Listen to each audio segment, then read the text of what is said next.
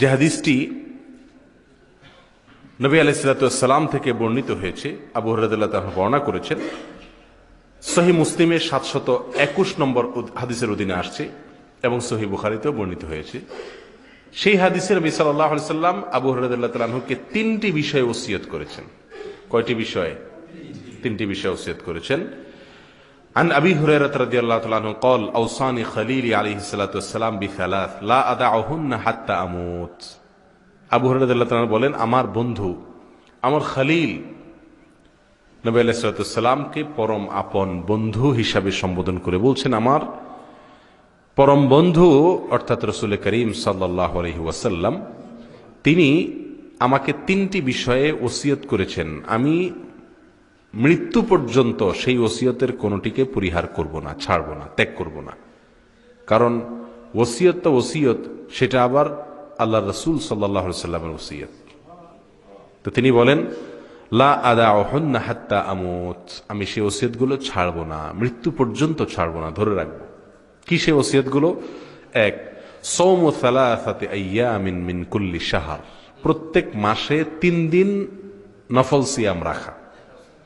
প্রতি মাসে তিন দিন নফল সিয়াম রাখা। এই তিন দিন নফল সিয়াম, এটা কি এক নাগাড়ে অর্থাৎ একসাথে রাখতে হবে, নাকি ছেড়ে ছেড়ে রাখলে, পৃথক পৃথক রাখলেও চলবে? এ বিষয়ে ওলামায় ক্রামের বিশুদ্ধ মত হল, যেহেতু হাদিসে নির্দিষ্ট করে বলা হয় না যে তিন দিন এক নাগাড়ে, অতএব যে কোনো ভাবে এক নাগাড়ে হোক, আর পৃথক পৃথক হোক, মাসের ভিতর তিন দিন রাখলেই চলবে। অন্য ওলামায়করাম অনেকে বলেছেন, এখানে তিন দিন বলতে আইয়ামে বীজের যে তিন দিন, সেটা বোঝানো হয়েছে। আইয়ামে বীজের কোন তিন দিন? চাঁদের তেরো, চোদ্দ এবং পনেরো তারিখ, এই তিন দিন। এই তিন দিন নবী আলাইসালামের সুন্নাহ এর অংশ হল সিয়াম পালন করা। প্রিয় বন্ধুগণ, আমরা বহু মুসলমান আছি, বহু মুসলিম আছি যারা কোরআন এবং হাদিস অনুযায়ী চলার চেষ্টা করি, আমরাও অনেকে কিন্তু এই মাসে তিন দিন নফল সিয়ামের যে ওসিয়ত নবী আলাইসালাম করে গেছেন আবু হরাজকে আর তার মাধ্যমে আমাদেরকেও সেটি আমল করার সুযোগ খুব একটা হয়নি।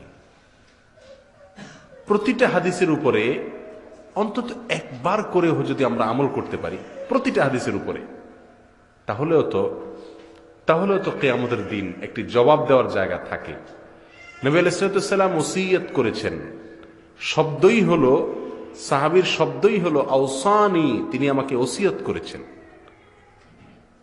চরম গুরুত্বপূর্ণ উপদেশ করেছেন। সেখানে তিন দিন মাসের নফল রোজা রাখা। নফল সিয়াম বা সিয়ামের বিষয়ে নাসাই রেখা দিছে আরসালাম আলাইসালাম সাহাবিকে বলেছেন, আলাইকা বিসৌম তুমি নফল সিয়াম রাখবা বেশি বেশি। কেন?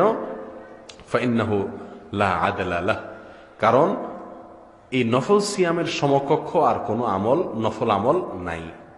আফার ক্লাসের নফল আমল, নফল সিয়াম রাখা। এটি স্বাস্থ্যের জন্য উপকারী, ইমানের স্বাস্থ্যের জন্য উপকারী। অতএব মাঝে মধ্যে নফল সিয়ামের অভ্যাস করব ইনশাআল্লাহ। দ্বিতীয় ওসিয়ত হল ও সলাতুদ্দোহা সলাতুদ্দোহা যেটাকে আমরা চাষতের নামাজ বলি। এই চাষতের নামাজ বা সলাতুদ্দোহা এটা নবী আলাইসালামের সুন্না শুধু সুন্নাহ নয় পাঁচওয়াক্ত ফরজ সালাতের পরে যত নফল সালাত আছে একটা মমিনের জীবনে, একজন মমিনের জীবনে যত সালাত আছে এসব সালাতের মধ্যে সলাতুদ্দোহা, এটা হলো তাহাজুদের পরে সর্বোচ্চ গুরুত্বপূর্ণ নফল সালাত। কেয়ামুল লাইলের পরে সর্বোচ্চ গুরুত্বপূর্ণ নফল সালা হলো এই সালাতুদ্দোহা। আমাদের সমাজে মাগরিবের পরে ছয় রাকাত আউয়াবিনের নামাজ বলে একটা নামাজ প্রচলিত আছে। হাদিসেও আছে, কিন্তু সে হাদিস সনদের দিক থেকে দুর্বল।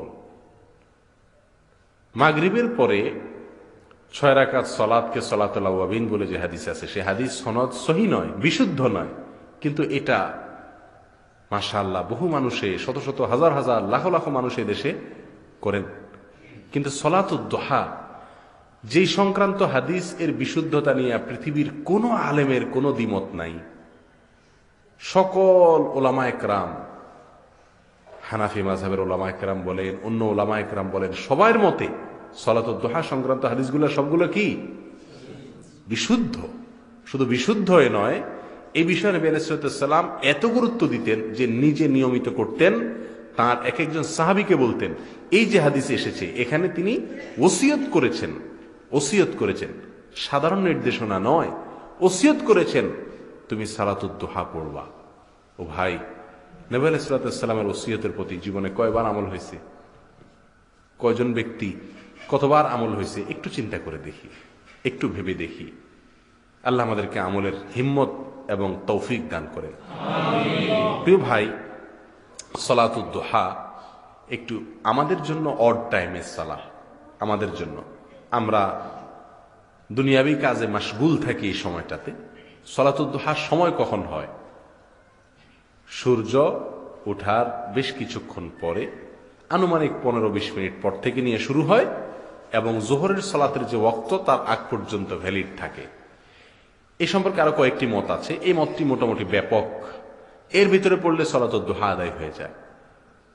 অনেক ওলামা একরাম সলাতুদ্দোহা আর সলাতুল এশরাক বলতে আলাদা নামাজ এর কথা বলেন, কিন্তু বিশুদ্ধ মত অনুযায়ী দুইটা একই সালা সলাতুদ্দোহা আর এশরাক যাই বলা হয়, দোনোটা একই সর্বনিম্ন দুই রাকাত।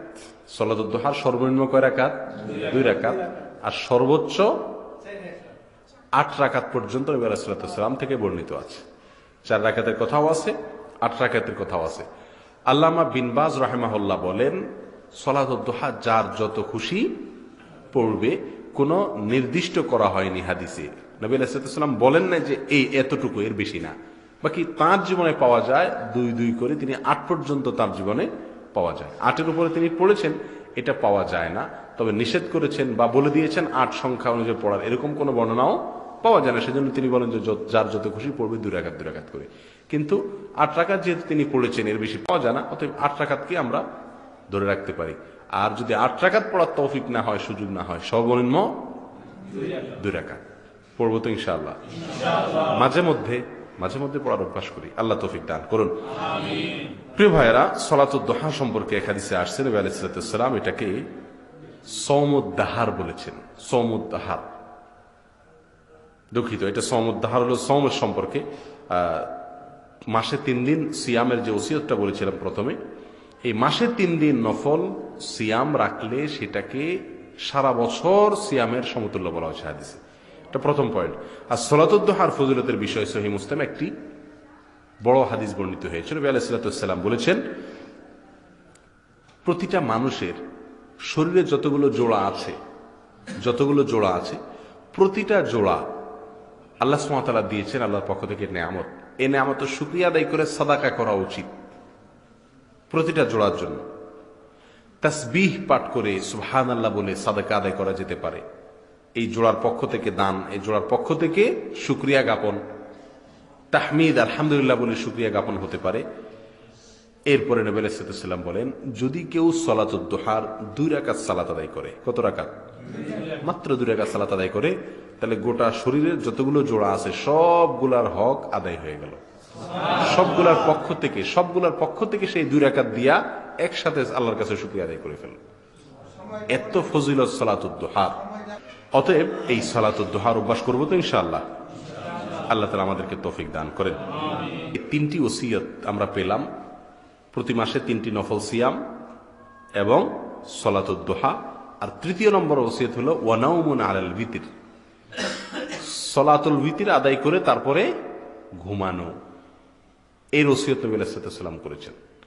একই হাদিস আবু দারদার থেকে বর্ণিত হয়েছে। আবু দারদার আনহু থেকে বর্ণিত হয়েছে, তিনিও বর্ণনা করেছেন যে আমাকেও রসুল আকরম সাল্লাম তিনটি ওসিয়ত করেছেন। তাহলে বুঝলে খুবই গুরুত্বপূর্ণ ওসিয়ত, তিনি একাধিক সাহাবিকে একই কথাগুলো বলেছেন। যাই হোক, বিতিরের সালাত আদায় করে তারপর শোয়ার কথা বলেছেন। এর মানে কি? এর মানে হলো, যে ব্যক্তি ভোর রাতে উঠতে পারবে সেরকম কোনো জোরালো সম্ভাবনা নাই। সেই ব্যক্তির জন্য বিতিরের সালাত আদায় না করে শোয়া উচিত না। সে ব্যক্তি বিতিরের সালাত অবশ্যই শোয়ার আগে আদায় করে তারপরে শুইবে। কথা বুঝে আসছে ভাই? আর যার অভ্যাস আছে, সে জানে যে তার ভোর রাতে ওঠার সুযোগ হবে। তিনি কি করবেন? বিতরের নামাজ, রাতের শেষ নামাজ পড়বেন। কারণ হাদিসে আসছে? বেলাম বলেছেন এই যে আলু আখেরা সলাতিকুম আল বিতির কাল। অর্থাৎ তোমাদের রাতের শেষ সালাত হবে কোন সালাত? বিতিরের সালাত। অতএব যদি কেউ ভোর রাতে উঠার সম্ভাবনা থাকে, আশা থাকে প্রবল তাহলে সেক্ষেত্রে তিনি তাহাজুদের পরে বিতরের সালাদ পড়বেন। আর যদি সে অভ্যাস না থাকে বা সম্ভাবনা না থাকে বা সন্দেহ হয় তাহলে তার জন্য উচিত হবে না বিতরের সালাদ শেষ পর্যন্ত রাখা। যদি কেউ সন্ধ্যা রাত্রে বিতরের সালাদ আদায় করে ফেলে এরপরে ঘুমায় পড়ে আল্লাহ তাকে তৌফিক দিয়েছেন ভোর রাতে উঠার এবং দু চার রাখা সালাত আদায় করবা। তো বিতিরতে তিনি পড়ে ফেলেছেন সন্ধ্যা রাতে। তার আর পড়ার সুযোগ আছে না নাই। আছে। জি। বিতিরের সালাতের পরে আর নফল সালাত আদায় করা যাবে না, এরকম কথা নেই। কিন্তু সম্ভব হলে বিতিরিস সালাত হবে কোন সালাত? রাতের শেষ সালাত। আল্লাহ তালা প্রত্যেকটি ওসিয়ত নবী আলাহিসাল্লামের ওসিয়তের উপর আমলের তৌফিক দান করেন।